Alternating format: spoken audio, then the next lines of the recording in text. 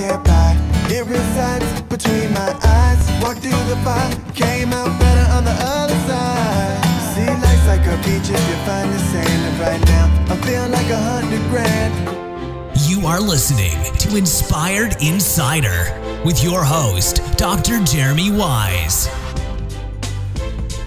Dr. Jeremy Weisz here. I'm founder of Where I talk with inspirational entrepreneurs and leaders like founders of P90X, Baby Einstein, Atari, many more, and how they overcome big challenges in life and business. This episode is co produced with DoThisNext.co, where you get simple, quick wins that will immediately create big results in your life and business. This is part of the accelerated learning series where top entrepreneurs share how to create big changes.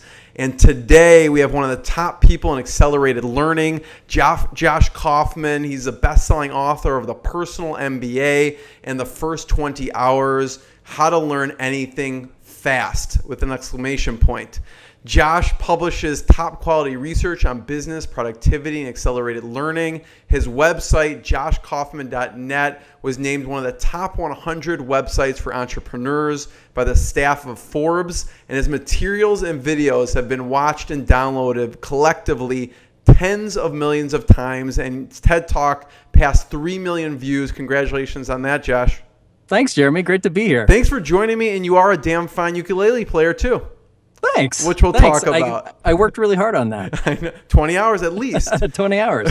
so, to start off, I know you have personally. Uh, actually, before I go start in that, I like to include a fun fact. And fun fact about you is you have actually programmed your websites, all your websites, from the ground up. Yeah, that was actually one of the things that I learned in the process of researching and writing first the first 20 hours was how to program. So I use that to build all of the programs and infrastructure that, that run my websites. Wow. So what was the toughest part for you about learning to program? You know, it was actually figuring out how to get the program from my computer onto a machine that was accessible to the internet. Yeah. It's it's reasonably straightforward to pull something up and kind of write your own program that will run on your machine, but the the infrastructure and how to connect things and and the plumbing aspect of that I had never done before, so that was hmm. challenging. Any part of the learning process that you found to be more difficult with learning to code and software as opposed oh, the, to something else? The research phase by far, because there are so many resources. Um, and unless you know exactly what you want to do at the beginning, yeah. you can uh, receive all sorts of conflicting information and yeah. advice. You're not quite sure where to start. And so figuring out what I wanted to build, what were the best tools to do that, and then what were the resources that were going to help me get this program onto the net. Um, it, I had probably five times the research uh, time in programming before I could get started versus, you know, some of the other skills like ukulele, you pick up the ukulele, you tune it and and you're into the practicing. Right. So uh, yeah, it took a while to to sift through what was important and what was not. Yeah. That's one thing I love about what you do is because you do tons of research ahead of time. How would you know like when you're starting what research to accept, what not to accept because I'm sure they're reputable people on both ends. Sure. Uh, the best technique that I've found is don't just pick up one resource and try to work through it from beginning to end. So, like programming, you can pick up uh, how to program in Ruby in 24 hours kind of tutorial. okay. Um, I have I haven't found that very effective, uh, mostly because those things very rarely teach you what it is you want to learn the skill for. It's, it's a bunch of you know, canned exercise sorts of things. The best technique that I found is actually to research more than one or pick up more than one resource. So go to Amazon and pick up three to five different resources um, on the same topic. And then instead of spending hours and hours and hours going through one, you spend an hour or two with each. Yeah. And the what that allows you to do is there are going to be techniques and and strategies that are effective that will be mentioned in all of those resources. Yeah. And that's a really good indication that those are the things that you should focus on learning first because they really are fundamental. Yeah, yeah. And from a selfish perspective, because I know you do a ton of research, what would you say in your research process is you have found that's unique to how you do things that maybe most people don't do? Oh, I go really, really broad. And and when I find something useful on the net, I save it. And so actually on on my website, joshkaufman.net, I have a um, a post on how to use Evernote to keep a research database. Uh-huh, okay. And I was I was just uh, going through it the other day. I have over ten thousand very detailed articles saved on all of the topics that I'm interested in. Wow. And so when I'm looking for a good resource that maybe I, I saw two years ago, I can go back into my research database and find it in in about 20 seconds instead of having to search through the entire net to try to find it again. So anytime in, when you're just surfing the web or whatever you're doing, if you find something you're interested in, you will then put it back and link it so that you can find it in Evernote.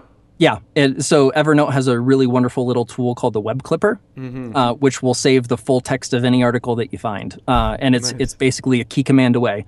So read it, find it, save it, and, and go back to it. later. Nice, nice. So, and I know you've personally seen some amazing results using your methods. You know, I'm curious of what you've learned that you still can't believe that you learned so fast. Um, I think it was programming for me. Hmm. I mean, talk about a really big, hairy, kind of scary, frustrating sort of thing. You say the word, and I get a little, I get a little nervous. Actually. yeah, I mean, and, and and it's such a useful skill to have, but it's just it's very difficult to get started. yeah. And the um, but once you pick up the the fundamentals, you can do all sorts of of different, very very useful things. Um, so just being able and and and more the skills of thinking through a um, through a program or thinking about a program like or through a problem like a programmer. So being able to break it down and imagine something as a process, and this has to happen before that, and what are the inputs that we need, and what are the outputs that we need. Uh, that was a very, very useful and interesting skill. Um, the frustrating part about it was um, I, I like to talk about programming as like you're building you're building something out of a set of Legos. So there are parts that you can put together in all sorts of you know billions of possible combinations that all look different when at the end. But the difference between Legos and programming is if your program doesn't work, it's like your Lego uh, building exploding. Like it just, you know, you try to run it and it doesn't Right. run. You don't know why, Start and you have to put it together. It's uh, it can be very, very frustrating to get started. But once you know how it works, you can do all sorts of really useful things with it. Yeah. What about one that you're proud of from a physical standpoint? I think the the one that I'm I'm proudest of there. Um, so for the book, I learned I I um, live close to a lake, and so I learned how to windsurf for the book. Uh, that was really difficult. Was it? Uh, oh yeah, really. Um, I swallowed so much water at, at the beginning, and you know it's one of those things like if you imagine um, the the balance type of skill that you have to have, like Yeah. for something like uh, skateboarding, it's very much the same with windsurfing. But if you lose your balance, you fall in the water and you have to climb back up and, and get started again. Um, so that was uh, a really interesting, challenging physical skill. Um, the one that I'm working on now, uh, similarly in the water, um, I have a rowing scull that I'm, I'm learning how to use a sliding seat rowboat, the really thin ones with the super long oars. yeah, yeah. Um, it's fascinating uh, because you have there there are, depending on how you count, ten to twenty different movements that all have to happen at the same time in the same way, and it has to be balanced, or you tip the boat. Really? Uh, you tip or- the boat in that situation. Oh yeah, totally. Um, or you know, let's yeah, like uh, an easy thing like when you're pulling back on the oars. If one oar is a little bit deeper than the other, or it's at the wrong angle, or you pull on one harder than the other one, it'll actually wobble the boat to that side. And so, getting all of those things working together, uh, super challenging physical skill to learn. Yeah. That would motivate me if I get if I would be thrown overboard. That would motivate me to, to learn for sure. Yeah, Um, what about the so break down the windsurfing a little bit? What were some of the methods you use? Because you know that's it requires balance. It requires a lot of different things. You know to do that. Yeah, totally. So um, the the first thing, and it, it seems kind of obvious in retrospect, but you have to learn how to put the board together. So there there are uh, five or six major pieces. So the sail, the mast, how it attaches to the board. There's a fin underneath the board and at the back of the board that you have to learn how to install and configure correctly. Hmm. And if you don't do that, you're going to have a really difficult time windsurfing. So even some of the things that you wouldn't think of, like setup, become really, really Yeah. important. And that applies to anything, you know, the ukulele and all those other things, the setup. Okay. Absolutely. So you have to have the tools. You have to have the tools set up in the right way. Um, but then even something as basic as learning how to balance on a moving board. I mean, I, I had never done that before. So a lot of the early hours of practice looked really boring. I would just take the board out into the water and I would practice standing on the board and moving back and forth and balancing and rocking the board to see how far I can lean in any direction before I fall over Yeah. and it doesn't look like much when you're in the process of doing it uh, but it helps so so much when you actually have a sail attached to the board and, and the wind is blowing you and you have to know the limits of, of what your balance are Yeah. So, for someone who's not patient like you, who wants the quickest way to learn the, let's say they're they're trying to windsurf, what would you get? What advice would you give on what portion to focus the most time and energy on from your experience? Yeah. So the basic idea with all of this is you want to do just enough research at the beginning to figure out what the most important parts of the skill are. Yeah. So call that deconstructing the skill. Yeah. Um, you don't want to research too much because uh, research can become a subtle form of procrastination. Yes. It's easy to keep reading. You have to actually get into the doing of the thing. Right. Um, so when you do that research and you figure out what the most important subskills are, the the easiest and fastest way to level up in that skill is to just practice those most important subskills first, because that's Yeah. going to give you the biggest bang for the buck. Right. Um, and so it's it's really that can be terribly frustrating because a lot of times the most important sub skills aren't the most exciting or, or the sexiest part of the process. Yeah, But yeah. those are the fundamental things that you're going to use to do to have all of these really cool, impressive results down the road. Yeah. Yeah. So what was that for the ukulele? What was that fundamental thing that you just was maybe boring, but it produced the most results for you? Oh my gosh! So music is is inter- so stringed instruments and and um, so things like ukulele and guitar. Um, when you look at what it takes to actually play a song, there are only a handful of chords that are used the vast majority of the time. So you learn, you know, seven or eight chords, and, and you can play most of the the songs that you would want to play. The tricky part is both. uh, So learning the chord, where your fingers have to go, where to press down, um, and you have to practice switching between the chords very quickly because you don't have much time to to go from a C to an F to a G, and so it, it looks incredibly boring. And and it's actually a, little bit more interesting when you're actually doing it. But just sitting there and strumming and practicing changing from one chord to the next um, is an, a, a very important thing to do early on. Not exciting but when you learn how to do that all of a sudden you can play hundreds upon hundreds of songs you just have to go through the process of training your muscles to move in that particular way Yeah. And Josh, with that, how did you figure out that was going to be the key component that you just needed to practice over and over? Yeah, so it was a combination of deciding what I wanted to do, which was I wanted to learn how to play popular songs and I wanted to learn how to play and sing at the same time. Yeah. So if that was success, um, I researched, I, I picked up a couple of beginner ukulele books, which all talked about the importance of learning how to play chords and switching between the chords and strumming patterns and, and all of those very basic things. Yeah.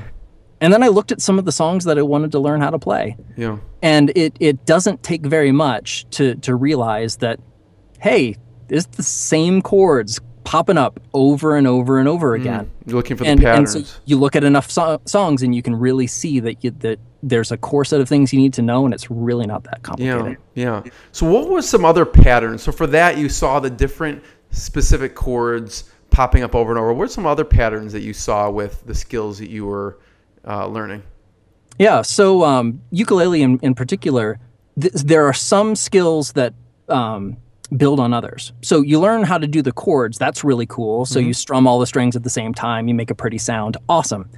But what if you want to play something more complicated than that? There's another skill that you can layer on top of that, which is called finger picking. And so instead of hitting all of the strings at the same time to play the mm. chord, you're just playing individual strings in a pattern, and it sounds really awesome and really fancy and really hard. does, yeah. And it's really not. Yeah, It's really it's just layering one very basic way to level up playing a chord, and you can do all sorts of really interesting things with that. Yeah, yeah, I like Uh, that. So you you can kind of think of um, skills are like ladders.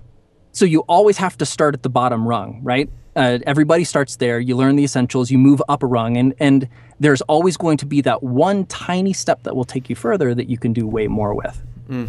Yeah. So, what else do you tend to work on one thing at a time? Like right now, you said you're working on rowing. Do you go, okay, I'm just going to choose one right now, or do you have multiple going at the same time? Yeah, that's the ideal. Yeah. Um, and that's really hard to do, particularly if you want to learn how to do all sorts of super interesting things at the same time. Right. Um, it's really just a math problem, right? Like if you need a certain amount of time to get good at Right. something, um, you, you can either compress that time and learn something very quickly, or you can spread it out over years and not make progress very quickly. Right. Um, so, and I found particularly uh, now that I have kids, so I have uh, a four-year-old daughter and, and an almost two-year-old son, Yeah. and that takes a lot of time out of the day too. We have very and so, similar age kids. That's why I'm smiling because when you say it's a mathematical equation, I'm thinking, all right, you got to add those two kids in there and all the time with that and Yeah. work stuff and what's left. Yeah. So uh, what I try to do is is anywhere between, and it depends on the skill, but if you can set aside twenty to forty five minutes ish around the time you go to bed, because there's there's a, a lesser known fact that if you want to uh, level up very quickly in motor skills, um, it's useful to practice right before you go to bed because um, there's there's a process that that happens in your brain called consolidation, where when you're learning movement patterns, your brain has to encode how to move and and what muscles to trigger when, mm-hmm. and that happens when you sleep. And so if if you practice a physical skill right before you go to bed, or within call it three to four hours Yeah. of when you go to bed, that makes everything way more efficient. I love that. Because then you could just plan when you practice right before bed. That's a good one. And Yep, I know you do a lot of research in general too. So, what other cool research have you seen out there that um, maybe is in the book or maybe that you, you kind of use for yourself? Yeah, so I think um, the the practicing before you go to bed is a really good trick that that I didn't expect. Um, I think the most important research thing that underpins this whole idea of of rapid skill acquisition is when you look at studies of learning something new from scratch, they all say the same thing, which is the vast majority of, of progress in the skill happens in a very, very short period of time. Really? And so, you know, performance at the very beginning is super terrible. Like everybody is terrible at the beginning. There's no getting around that.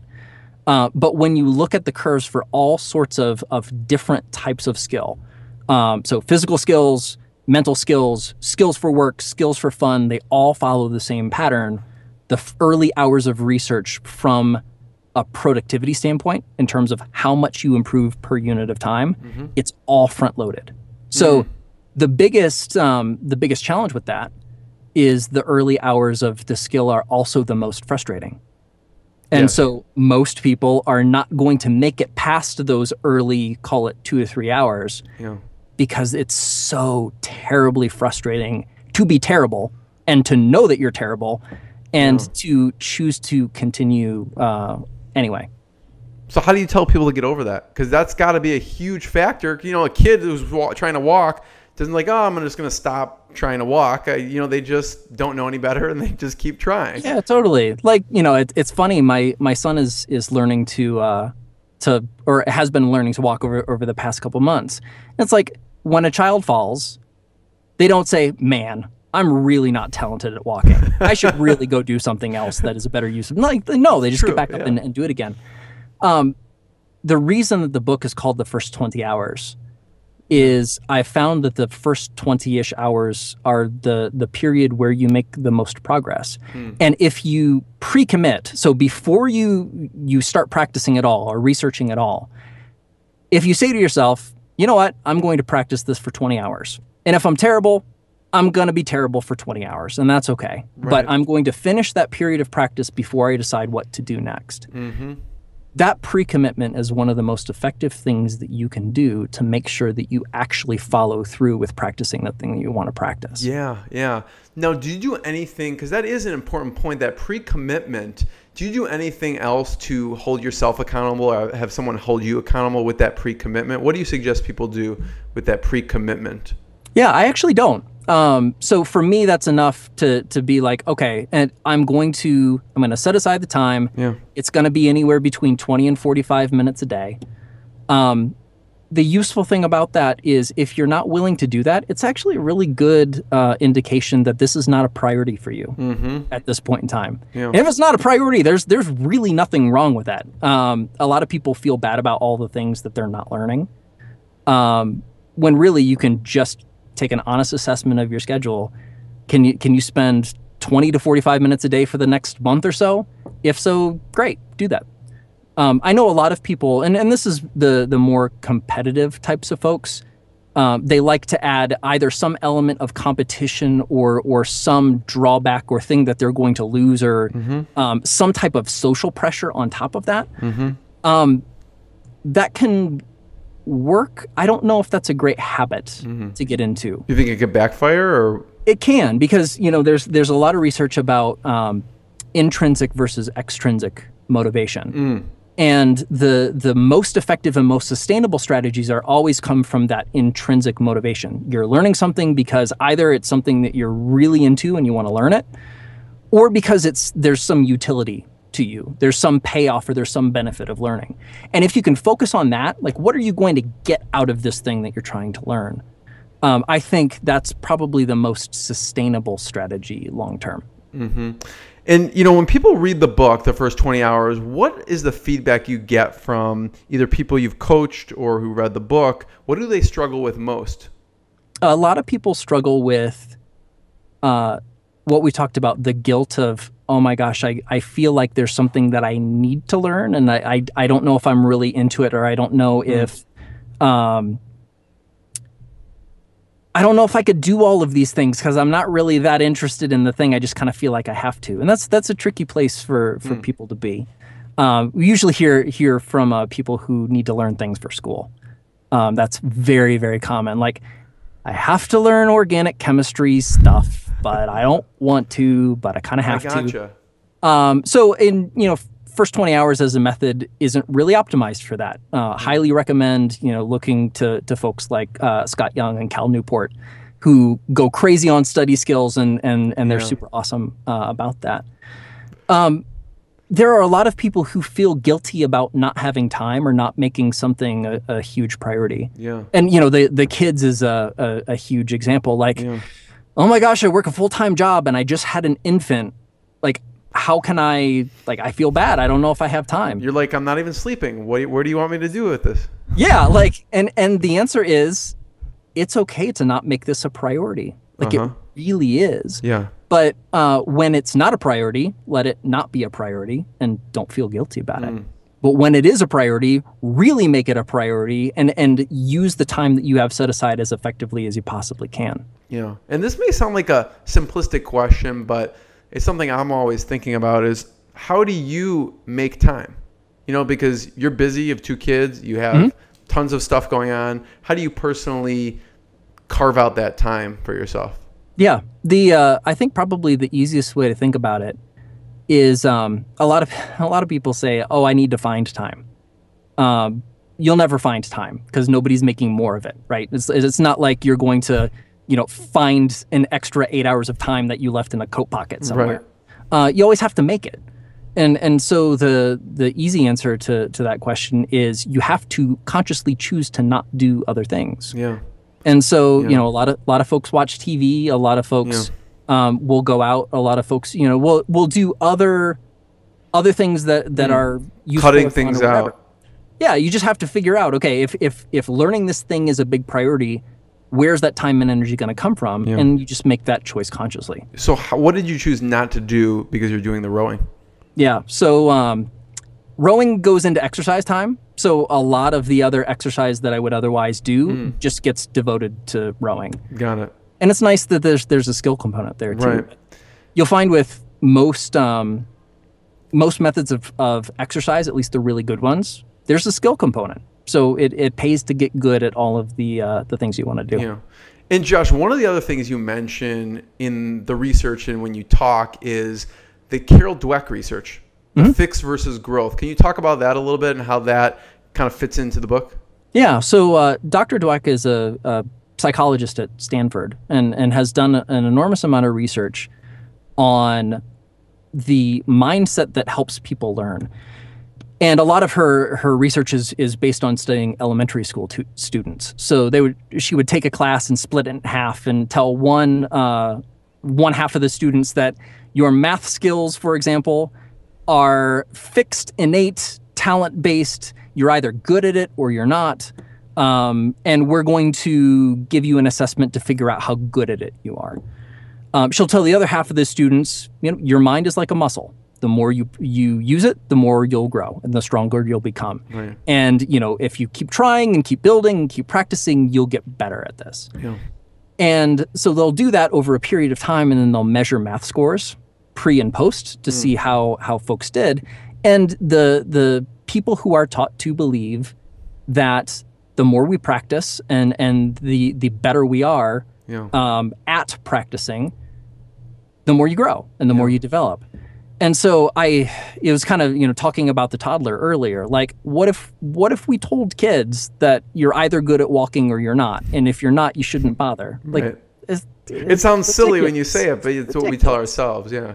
But it's exactly what we tell ourselves. Yeah. I wanted you to talk about that because i think it's so important. It's some people i could see you know reading the title or the book and just thinking you know I'm just not good at this, or is I don't have a knack for this. And so I like when you talk about the fix versus the growth uh, mindset with that. Um, and and so also, you know, obviously we're talking about quick wins and accelerated learning. What's something that you find comes up over and over? Because everyone's impatient. They want the greatest immediate impact to start learning quickly. What comes over and over with questions uh, from people when they want that immediate impact? and what do you tell them to start learning as fast as, as humanly possible? Yeah, I think um, going back to the ladder analogy that we talked about earlier, there are a whole bunch of people who want to skip rungs on the ladder. Mm. Like, you know, the the whole like if I can't instantly teleport myself to the top of this ladder, then I should absolutely not try in the first place or you know i would like to skip to rung 10 because that seems really efficient. Um, but that really ignores like if anybody who played any sport growing up has has heard this over and over and over it's all about the fundamentals. Yeah. and the fundamentals are incredibly basic it's not what we like to hear. It's very boring at the beginning. It's like this is not getting me what i want but you spend a little bit of time there and you get good at that. And you become much better faster than you otherwise would be. Because the things that you're doing most of the time you've spent some time getting good at that 1st mm-hmm, mm-hmm. uh, so yeah people trying to to skip up the skill ladder a little bit faster than than is uh, probably prudent. Um, i see a lot of people not wanting to do research. So not taking the time and you don't have to take a tremendous amount of time. So call it an hour or two go to the library, pick up a couple books, pick up a couple DVDs, spend some time learning from other people who have developed skills before you. Yeah. And pay attention and, and see how they learn, what they focus on, what they emphasize, and what they don't. Yeah. Uh, because those are the things that are going to tell you what you should focus those early hours on. Yeah. Yeah. And so, Josh, when you say the steps of the ladder, how do those steps break down? Like, first you tell them they start with research, mm-hmm. or even before that, what's a priority and what they want to learn, and then what's what would you say are the next rungs? Like, let's say you sit down and you go, okay, I'm going to learn rowing. What yep. what's your methodology? Yeah, so uh, a couple things, uh, and we've already talked about the first two. So you decide exactly what you want uh, to be able to do, and really put that in concrete terms. So when you're done, what can you imagine yourself doing? Like, what are you physically doing? What is the outcome of that process? Yeah. Uh, the more specific you are about that, the better off you are. Because a lot of people will um, either be way too vague. So it's like, I want to, I want to learn how to play play the guitar, for example, or I want to learn how to speak French. well, there's nothing there for you to actually practice. It's this big neg- nebulous blob of Right. who knows what. And so you want to define it enough to be useful, but you also don't want to over define it to like, I am the best French speaker on the face of the earth. And that, that's way over optimizing. Yeah. So it's like pick a target and hit it as effectively as you can. Yeah. Um, the second part is the research. So the deconstructing, trying to find the most important sub skills um, and, and learning those 1st And then uh, you want to spend some time making sure that you're remove what removing what I call barriers to practice. So those are the distractions, the um, not having the right equipment, not having the right the setup, all of the things that can get in the way of you practicing when you sit down to practice. You want to get rid of all of those, or as, as much as possible Yeah. um, and you want to really make you know as we were talking about earlier make that pre-commitment like when are you so get out your schedule. When are you going to set aside the time to learn this thing? What does that look like? How are you going to practice? Yeah, yeah. So, what has been your favorite um, story that you've heard of someone using the first 20 hours book and doing some special skill? oh there's there are some really really good ones. Um, you can actually look on on youtube. There are folks who have learned to play things like the cello and the violin not having to do it or not having done it before um, they've done it they've they've uploaded their results and they're they're pretty darn good after 20 hours. Um, I the, the thing that I like most about the book um, because it really is like the method is very very simple. Yeah. and it works for uh, mental skills, physical skills, work skills, um, hobbies, and it really is the, the the very best thing that can come from the book, from from my perspective, is that it encourages somebody to pick up and try something that that they wouldn't ordinarily do. So I, I heard from a friend uh, who was who was discussing this with with a much older friend. She was actually 80 years old, and and had always wanted to learn how to play the piano. And she's like, I'm gonna do it. I'm gonna do it. Um, there was a guy who, who wanted to learn how to sumo wrestle, and I haven't I haven't received an update on that recently. But that's like, if if the purpose if the book helps somebody learn how to sumo wrestle, then awesome. That's funny. I just picture myself in a sumo wrestling suit. Um, what about work skills? Um, you know, we talk a lot about hobbies. What have people done as far as work skills that you've heard? Yeah. so I've I've heard all sorts of things from from the the very complex, like programming would be an example of like learn how to program and and if you're looking for a job, you will probably not be looking for very much longer. Um, to even some of the basic things, like you know, you can open up Microsoft Excel and learn how to use a spreadsheet or a pivot table.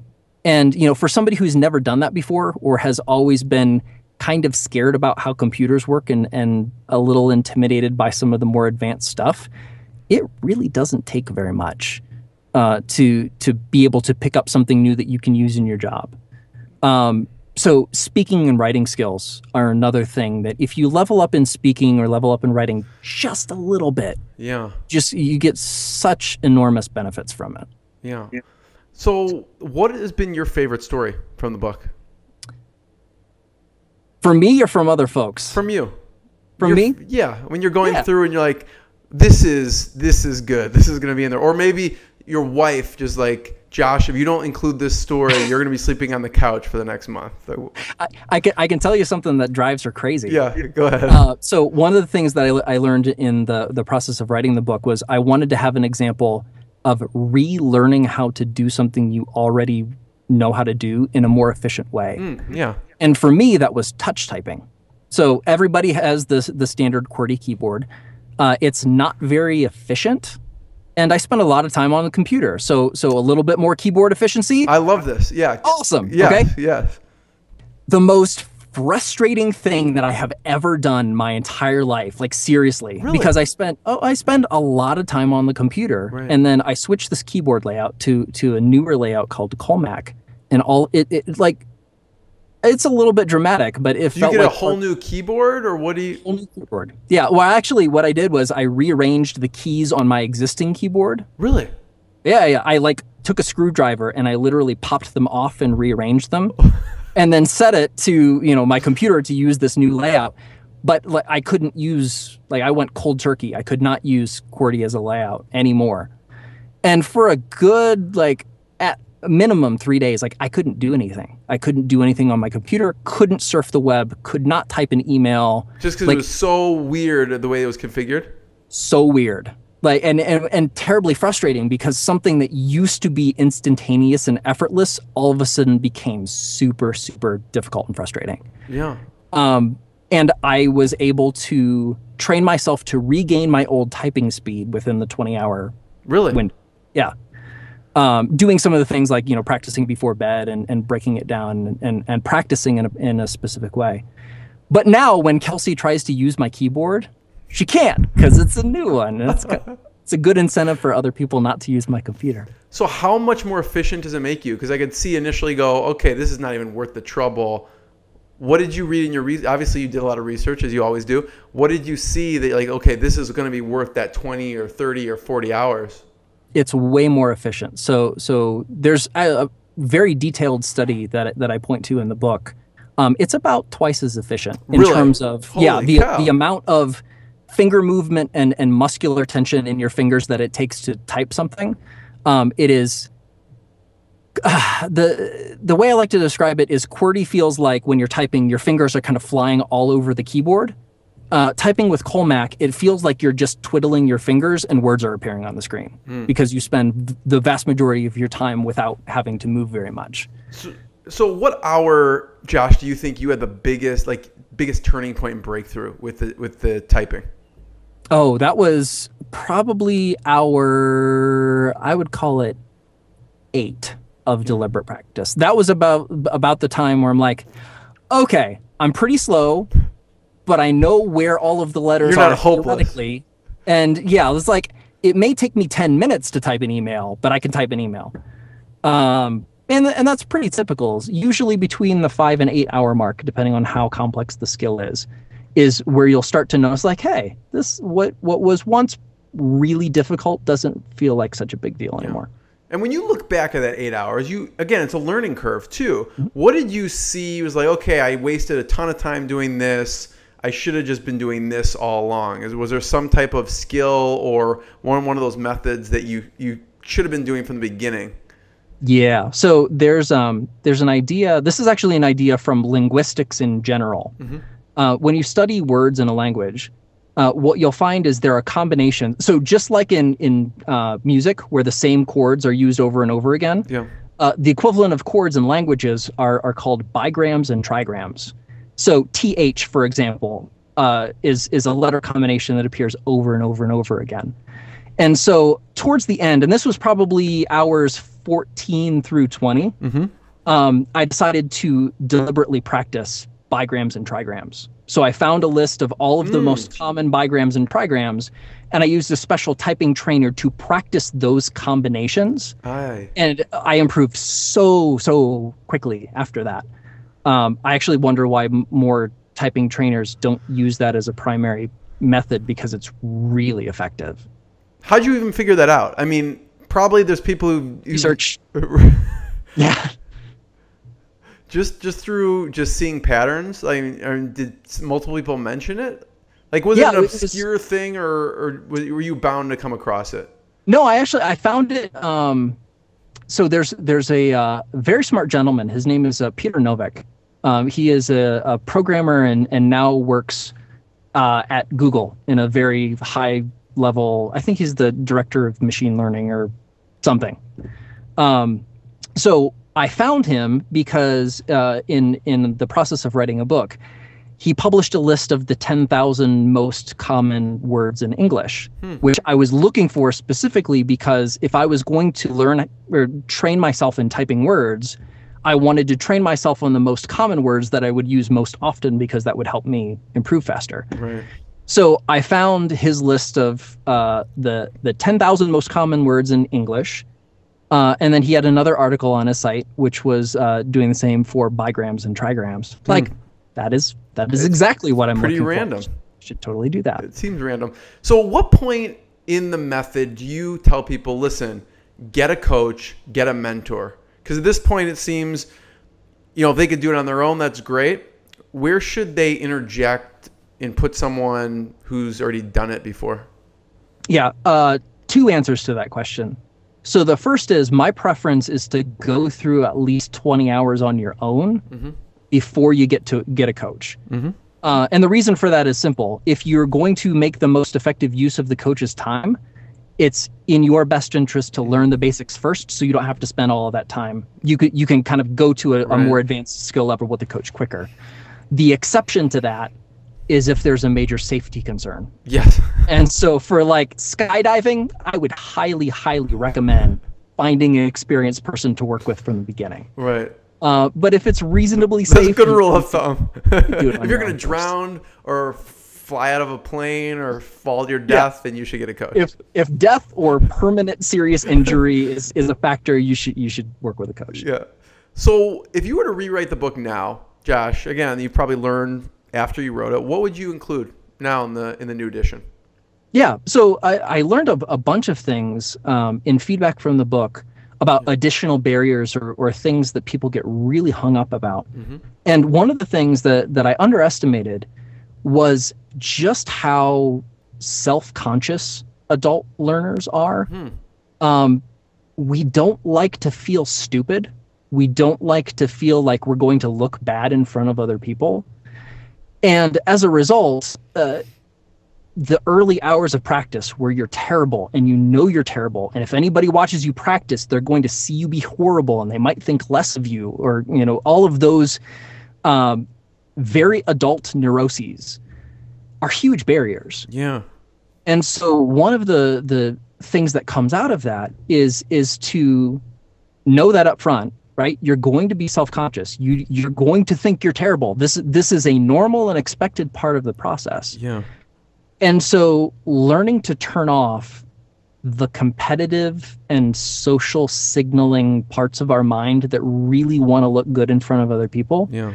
And and in my experience all it takes is really just acknowledging that that is a thing and deciding that that's not a big deal right now. Yeah. And maybe practicing by yourself where nobody's going to see or hear you, you know, mess up a bunch of times. Yeah. Um it's such a an almost universal thing for yeah. people and so you know yeah if, if you know that it that is probably going to be a factor you you can do things to mitigate that in advance and that helps a lot yeah do you find again because you practice this over and over with the different skills so i'm sure it gets easier and easier it's like a muscle that you're you're working but i could see people it's hard to get over that mental component i, I could even see high performance athletes who do it every day get into a rut or a slump with whatever sport, if it's basketball, shooting, baseball, hitting, what's worked for you the best to in your mindset to get over like a mental barrier?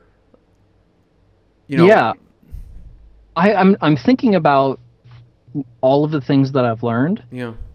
It gets easier to apply the method. So because you know kind of what you're supposed to do and, and look for, whatever. Um, the mental part is is almost never the problem. Mm. Uh, the problem is emotional. Like I don't know if it emotionally gets easier to decide to learn something new and actually go through the process of doing that again. Yeah.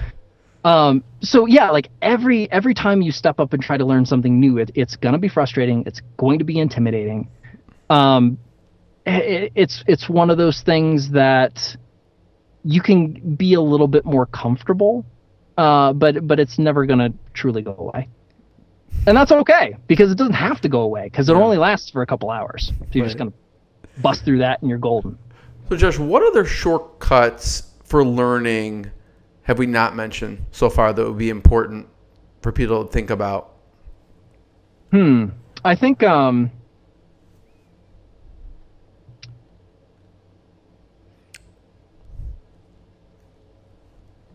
can edit out the long pause. No, it's fine. no, it's fine. I'm just it's, uh, looking uh, at you know, are there any things shortcuts within the rungs of the ladder that would be important to note? Like within the research, there's shortcuts within the research, or with you know, within the deconstructing, there's shortcuts within deconstructing. Yeah, I think um, one thing that might help is plan your practice sessions around one specific subskill. Mm-hmm. So we'll use ukulele as an example. Yeah. Like I'm going to pick up the ukulele. I'm going to spend 20 minutes practicing chord changes. And that's all I'm going to practice. I'm not going to practice songs. I'm not going to practice finger picking. I'm not going to do any of that. It's this amount of time devoted to this specific sub skill. Mm-hmm. Um, and it, it goes back to the math problem thing that we were we were talking about earlier. Like you have to spend a certain amount of time getting experience with this these fundamental things. Yeah. And so if you can do that, your practice sessions become way more efficient. Yeah. I want to know from you who's been an influential mentor for you and what they've taught you because it seems like you just have this I don't know if it's an innate ability to deconstruct and do these things or who are your who've been your mentors? You know, I don't know on the deconstructing part if if I've had a mentor. Mm-hmm. Probably the the the thing that I would say is I I read a lot mm-hmm. in a very wide variety of areas. Yeah.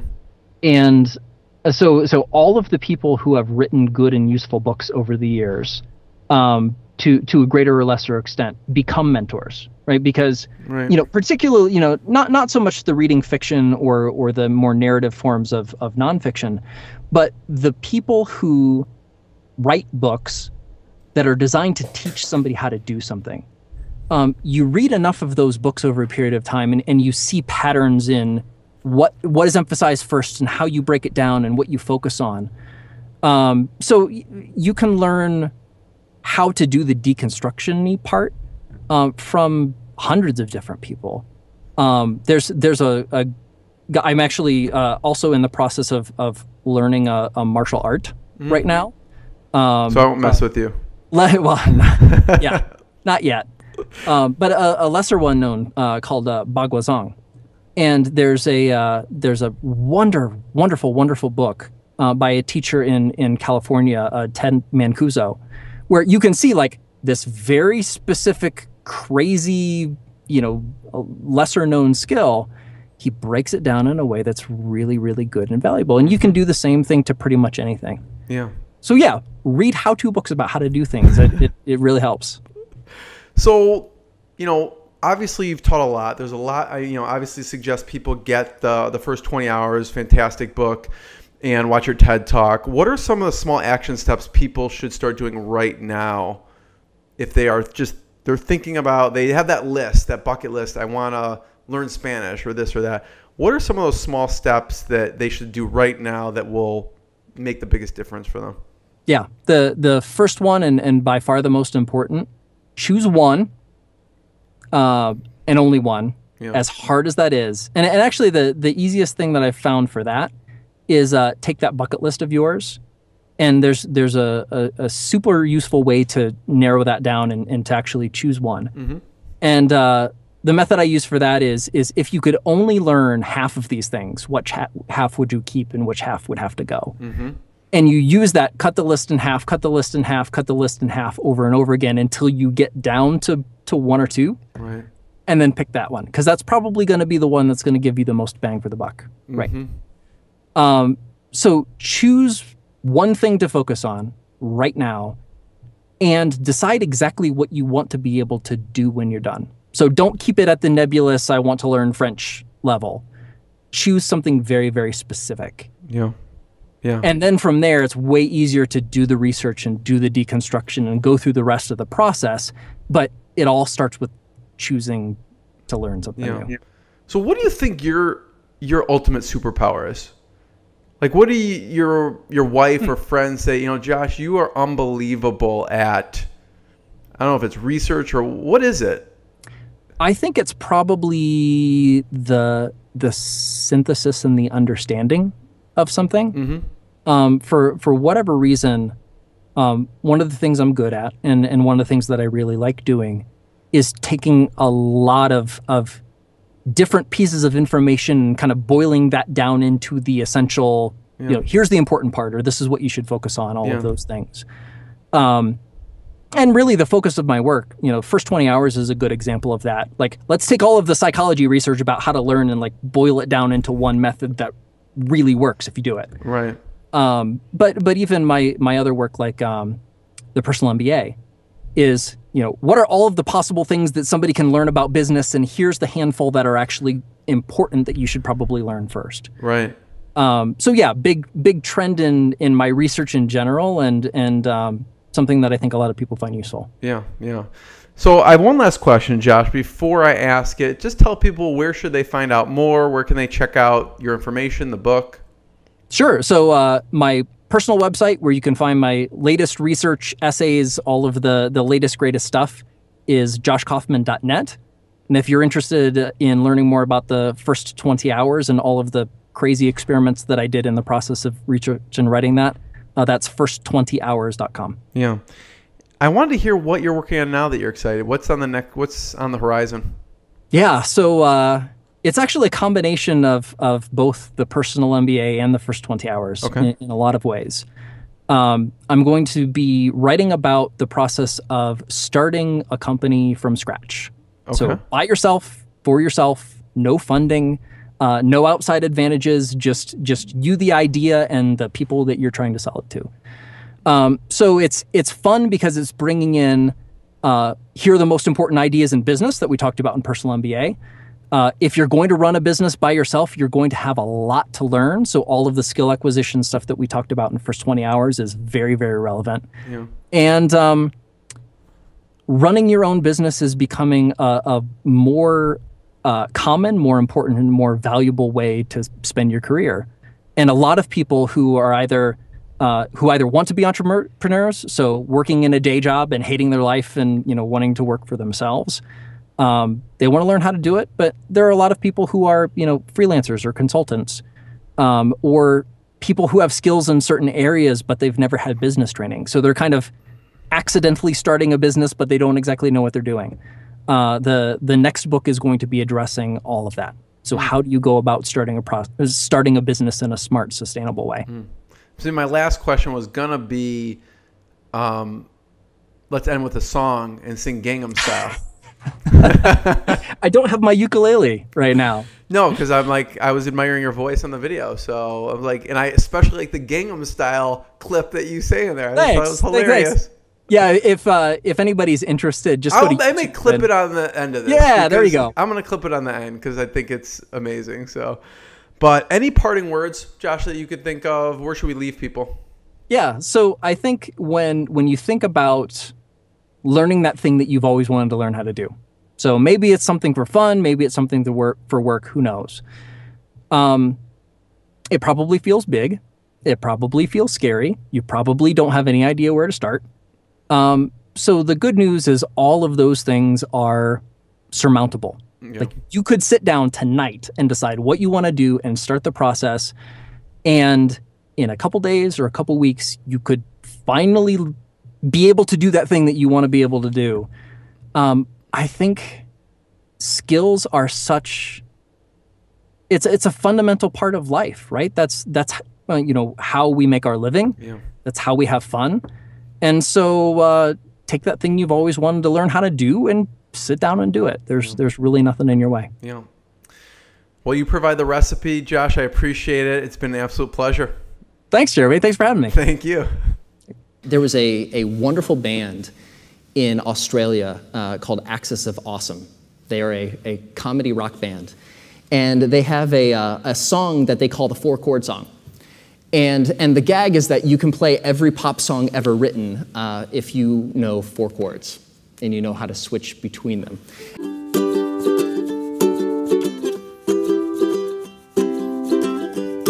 Just a small town girl living in a lonely world. She took the midnight train going anywhere. And Adele, I heard that you settled down, that you found a girl that you're married now. Every night in my dreams, I see you, I feel you. That is how I know we'll go on. I won't hesitate no more, no more. It cannot wait. I'm yours, cause you're amazing. We did amazing things. If I could, then I would. I'll go wherever you will. And can you feel the love tonight? She will be loved, and she will be loved. When I find myself in times of trouble, Mother Mary comes to me. Sometimes I feel like I don't have a partner. No woman, no cry. I'm up, but this surely is a dream. I come from a land down under. Once a jolly swag man camped by a billabong. Hey, I just met you, and this is crazy, but here's my number, so call me. Hey, sexy lady, whoop, whoop, whoop, whoop. Welcome Gangnam Style, time to say goodbye. Closing time. Every new beginning comes from some other beginning's end.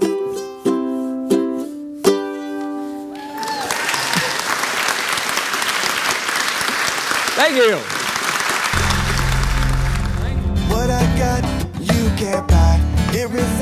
Between my eyes. Walked through the fire, came out better on the other side. See, life's like a beach if you find the. And right now, I feel like a hundred grand.